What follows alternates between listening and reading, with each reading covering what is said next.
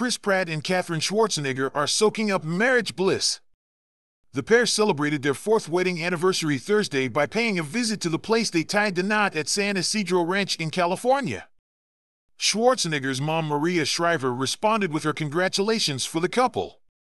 The pair tied the knot at the San Ysidro Ranch in Montecito, California, in June 2019 and have since welcomed two daughters together, Lila and 11 month old Eloise.